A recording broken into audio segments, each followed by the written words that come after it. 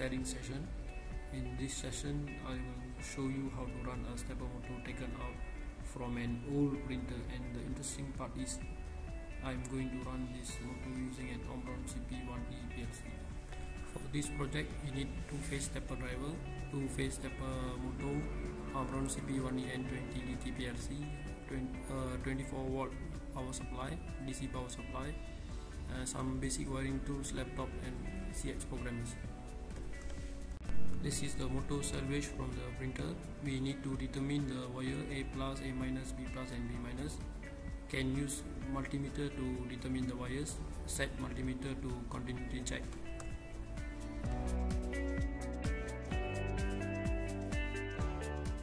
Prepare the required items. Uh, make sure that the wires are properly rolled and uh, separated uh, next we look at the stepper driver this uh, stepper driver is an economical uh, stepper driver. So may cost around 3 USD to 6 USD so it's uh, very useful in, if you want to make a simple stepper motor projects.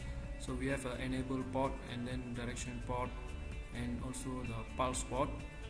So and the A plus A minus and B plus B minus is the phase port.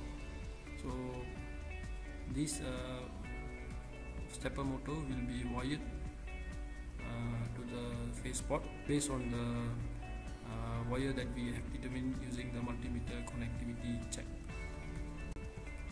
The four wires, uh, we will have two pairs of wires so it doesn't matter which is A or which is B. So just uh, make sure that they are in pair. For example if B plus and B minus or A plus and A minus the A or B they have to be in pair. The pair is determined with the connectivity tested in the multimeter. Next we are going to wire the 24 volt DC supply. So VCC is the 24 volt positive supply GND is the negative supply. Once you have on uh, completed wiring power on check green line means the wiring is correct. If you have a red flashing light means the wiring is not correct. So you have to check if uh, A plus B plus and B minus and B plus is wired correctly. Now let's look at the ENA port or enable port. Uh, this port is used to share a multiple stepper motor into a single stepper driver. Uh, for our case we may not be using this ENA port. We will use the pulse and direction port pulse port is to feed pulse into the stepper motor. Once you have pulse motor will start to rotate and the direction port is to set motor direction. If it is on then it is uh, clockwise. If it is not on then it is anti-clockwise. PLC CP1E N20DT has a common negative output. So the stepper motor pulse positive and direction positive has to be looped together and common into the positive port. So this is to enable the stepper driver to accept negative signal coming from the PLC. And uh, so that's it, our wiring is uh, already completed. So we are left with the PLC output wiring and now let's look at the PLC model here we have a CP1E N20DT as shown here so you, we based on this we need to ensure that the output is negative common as this is a DTD type model.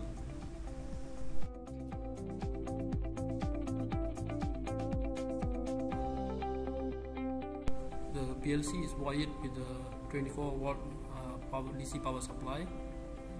Uh, based on the motor current if the motor current and the PLC current is uh, below the maximum current of the power supply then you can same the supply from the single power supply.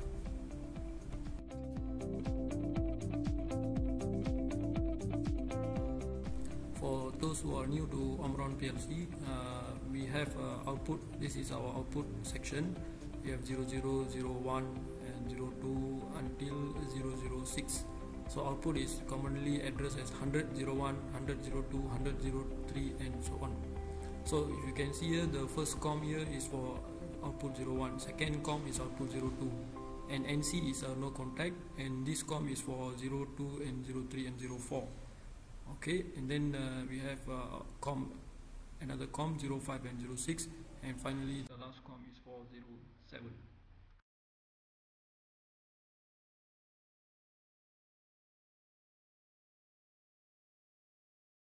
this PLC model has a output uh, port which requires negative power supply as a common. So we loop all the common together and connect it to the negative supply. Next we are going to wire the pulse and direction into the PLC output. So pulse need to be wired into a high speed output. We have 00 or 01 as a high speed output. If you use 00 then your direction should be wired into 02 if you use 01 then your direction should be wired into 03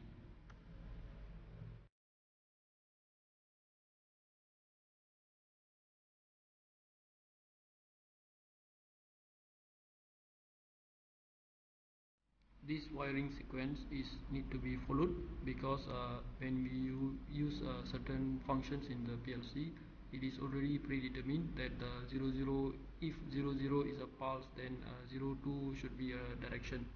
If 01 is a pulse then 03 should be a direction. So if you did not follow the wiring sequence the function uh, applied in the PLC ladder diagram will not operate the stepper motor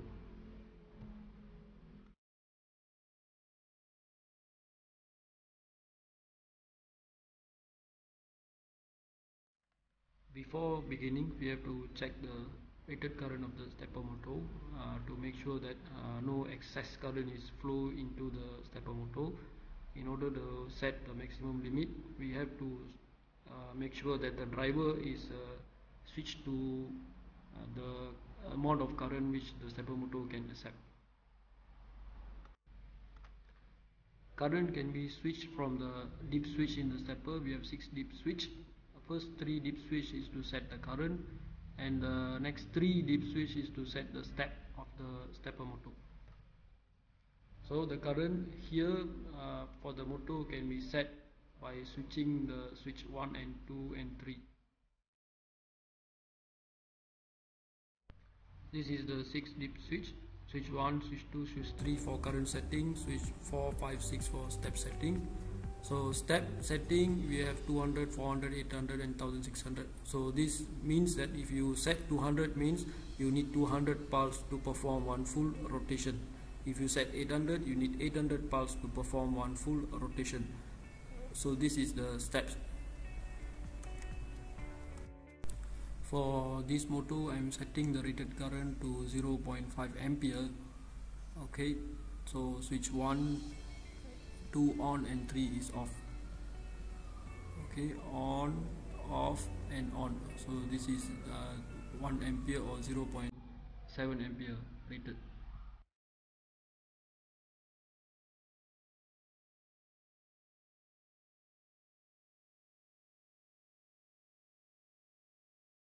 So the wiring is now ready. So once uh, wiring is ready you can on the CX programmer and click new and select the PLC model CP1E N20DT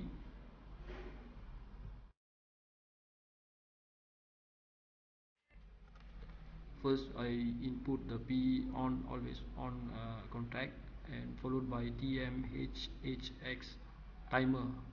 Um, for this uh, example we are going to use a high speed timer TMHHX just to test if the motor is rotating.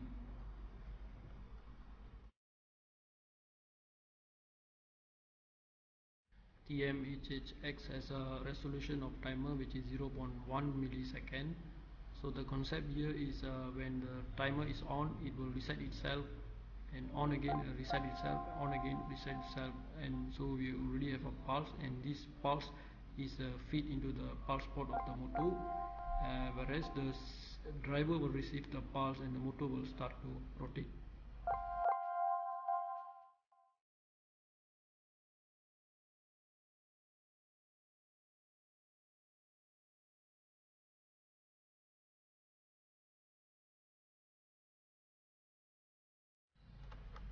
So now the motor rotates and uh, from the ladder diagram you can see that the switching has begun and uh, motor is rotating from the pulse received okay so that was a simple test using a TMHHX function but we still do have other useful functions in PLC uh, such as SPED and pulse ACC and INI and PWM and pulse.